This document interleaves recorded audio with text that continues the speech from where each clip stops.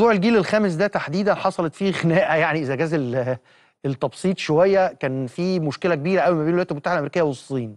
وأمريكا قدرت يعني كسبت الجولة دي في في الموضوع وهي رائدة الغرب هو صاحب التكنولوجيا الأهم والأكبر الأكثر انتشارا في الجيل الخامس. مين اللي هيقوم عندنا بالتطوير وتقديم الخدمة؟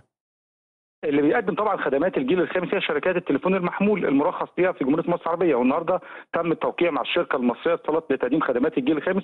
اللي عايز أقول لحضرتك إن إحنا عشان نطرح الخدمات الجيل الخامس والتراخيص بنقعد أكتر من سنة بنعمل دراسات فنية ودراسات تنظيمية ونجيب بيت خبرة عالمي عشان كمان التسعير وغيره. وبالتالي الموضوع بياخد دراسات كبيرة جدا في كل الدول بتعمل كده. أنا بس حضرتك بتقولي دلوقتي إن الشركات القائمة اللي موجودة في مصر هي اللي هتشتغل فيها. كل الشركات آه، آه، من حقها إن هي تحصل على الترخيص إذا رغبت في ذلك من الجهاز القومي لتنظيم الاتصالات النهارده الشركة المصرية حصلت على الترخيص وهتبتدي وكل شركة. هتقوم بتطوير بنيتها الأساسية كل شركة بتقدم طبعا خدمات الاتصالات في جزء كبير إن كل شركة بتبني البنية الخاصة بيها وفي بعض الأماكن بيبقى في ما بين الشركات بينها وبين بعض اتفاقيات تسمح لبعض الشركات إنهم يتبادلوا ال- ال- البنية الأساسية بتاعتهم تبادل بنيه زي مثلا طب إحنا كل التطور وال- والتقدم ده يا فندم إحنا عندنا خدمات أساسية لغاية دلوقتي مش موجودة في يعني موضوع ال eSIM ال SIM الإلكتروني ده لسه مش موجود. موضوع حضرتك بتتكلم على تخاطب ال ال الأشياء ببعضها المعدات والأجهزة اللي إحنا بنستخدمها. كل ده لغاية دلوقتي برضو عليه نوع من ال- المحاذير وهو أساسا ما بيدخلش مصر. فاحنا بنعمل ليه الشبكة دي؟ بص يا فندم حضرتك بتتكلم على ال- الحاجات الخاصة بال IT وغيره. النهارده بنتكلم على العدادات الذكية. النهارده شغالة في مصر وموجودة. صحيح. وهتزيد أكتر في الخدمات الجيل الخامس سواء عدادات الكهرباء المية الغاز كل الحاجات دي آه، موجودة النهارده. حتى التلفزيونات لما تروح حضرتك تشتري يقول لك ده تليفون ذكي وده آه، تلفزيون مش ذكي. لا أنا قصدي السمارت هوم النهارده شغالين عليها وفي حاجات كتيرة جدا بتتقدم عن طريق إنترنت. الأشياء سواء على الجيل الرابع وهتتحسن طبعا مع وجود الجيل الخامس. حضرتك بتتكلم على الإي سيم. إن شاء الله في النصف القادم من العام الحالي سيكون الإي سيم. إن شاء الله مطروح في مصر. لا يعني أي حاجة بتقدم هيشتغل في في في, في نص الس- 24 إن شاء الله قريبا في نص 24 اللي يتم يشتغل.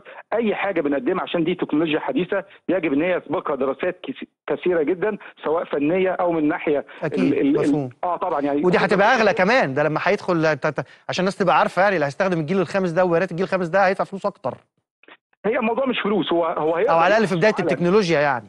آه بص يا فندم هو هيحصل على نفس الكوتا اللي النهارده بيستخدمها بنفس السعر ولكن بتخلص أسرع. يعني أنا لو عندي أيوة باقه فيها بالظبط 10 ميجا آه، وبستخدمها في أسبوع هتخلص في يومين ثلاثة ما هو على حسب بقى هو عايز يستخدم حاجات HD يستخدم حاجات حديثة يستخدم صورة بجودة أعلى طبعا هيكون هنا في الحالة دي الباقة تخلص اسرع مفهوم. لكن لو هو عايز يستمر بنفس السرعة هتكفي معاه لحد نهاية الشهر. هل قدامنا إطار زمني إمتى تبدأ التطبيق بالنسبة للرخصة دي؟ أو إمتى إحنا كمستعملين والمستخدمين نبدأ نحس أو تليفوناتنا تلقط جي 5 هي آه، معظم التليفونات الحديثة اللي موجودة حاليا في السوق المصري كلها كل المصنعين بتكون بتتعامل مع. الجيل الخامس وبالتالي كل ما الشركة تبني مكان أو تبتدي تجهز البنية الأساسية على طول التليفون بطريقة أوتوماتيكية على طول بيلقط يلقط. الجيل. الخامس صحيح. من غير حتى العميل ما يبقى فيه أي تدخل من ناحيته وده اللي بيحصل النهارده في التليفونات اللي موجودة الجيل الرابع والجيل الثالث على طول التليفون بيلقط اوتوماتيكيا وهيلاحظ ده في الخدمات والتطبيقات هيلاقي إن الخدمة والبيانات والإنترنت. بيكون أسرع لكن هتبان جدا في الصناعة النهارده في المواني اللي موجودة في المستثمرين هيبدأوا على طول يشتغلوا في الجيل كمان. الجهات اللي بتحتاج البيانات المكثفة جدا يعني حجم تداول البيانات الكبير.